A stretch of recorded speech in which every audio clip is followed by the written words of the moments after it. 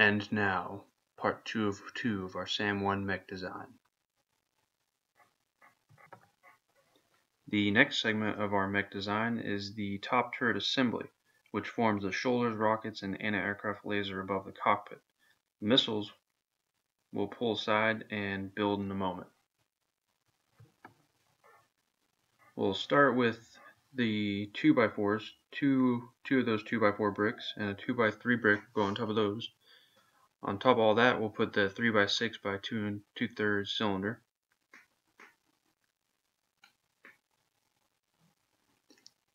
Next, we're going to grab a 2x2 brick and a 1x2 angled brick will go on the back.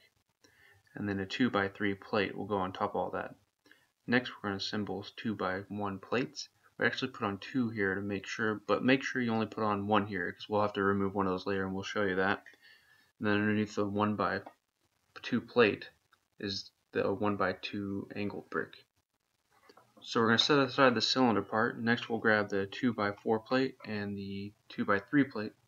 Put the 2 by 3 on top of the 2 by 4 with the one part hangover and the accent slatted piece goes on the end.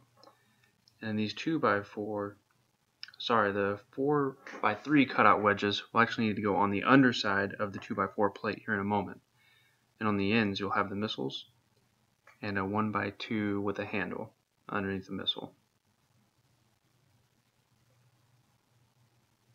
We're going to add grab another 1 by 2 with a handle and put the and here's where the 4 by 3 cutout wedge we need to move that under the base plate and the 1 by 2 on, with the handle will go on top of the 1 by 4 base plate and we'll do, uh, we'll do another one by two with the handle with the armor plating. Those will go on the top. And the laser housing will go on one side of the plate. And the flat 2 by 2 will go on the other side. We'll grab this piece here and put in the raid laser tip. And the cylinder goes into the ball and that's where we'll put the laser weapon. So all this assembly goes on top of the cylinder.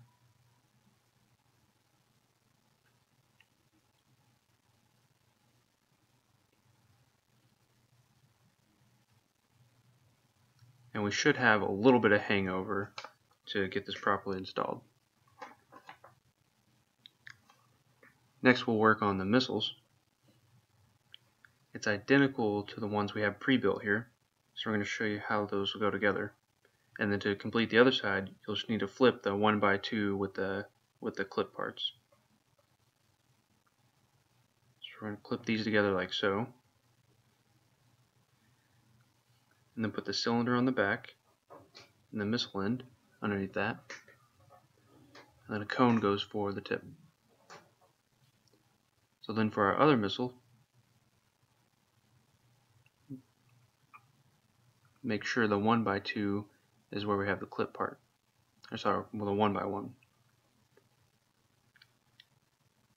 And the other rocket is actually is very similar, but we'll need an additional cone on the front end because our um, our part is not inserted as far into one of the cones, so it's the way the design is built.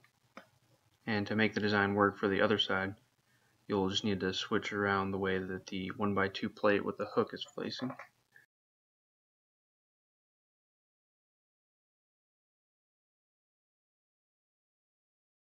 So let's pull our armor plates up and attach the missiles on the 1x2 plates. And then pull the armor plating over that. And we'll do the same on the other side.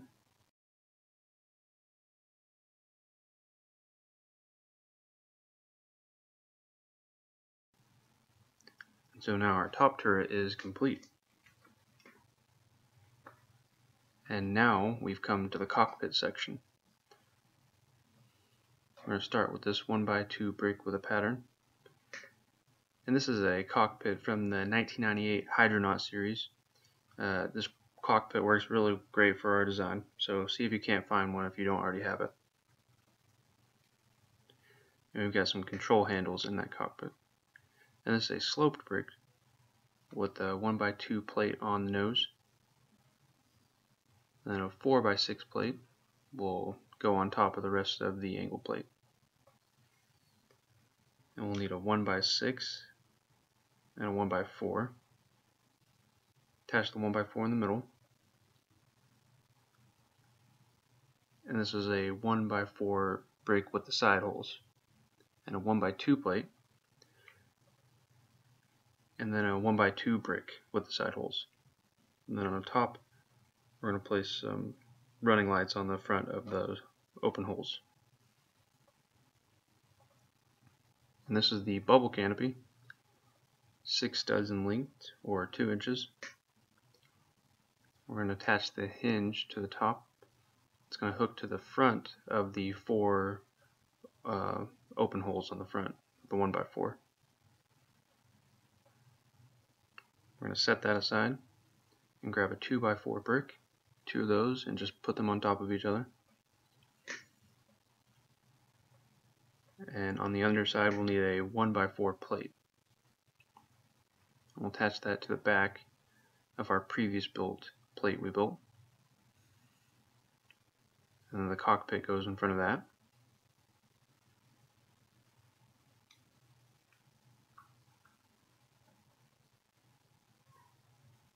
And the 1 by 6 plate will go on the top of the cockpit and we'll hang over it like so. So we're done with cockpit and we'll set that down. And now we're going to put all six of our components together. This is where we got to make the one correction to the 1 by 2 plate. We got to remove one of those from the back of the top turret section. And then place our angled brick and 1 by 2 plate back on. Leave that difference in level. So we're going to grab the engine block on, on each side. we're going to place um, our weapons. Go ahead and pull the hoses off for now. So we're going to attach the weapons to the plates sticking on each side of the engine block. And on top of the engine block is where, and on top of the arms, is where we'll attach the top turret.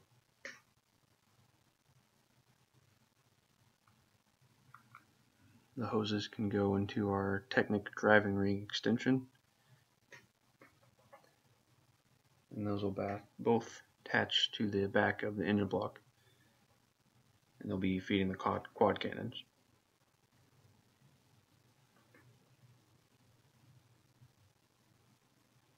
Next we'll take the cockpit and attach that, basically hooks to the front end of the thing there.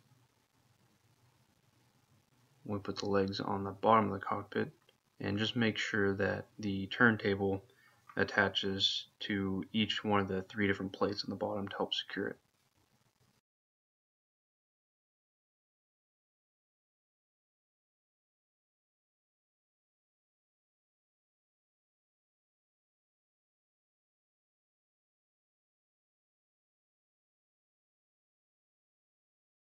Yeah,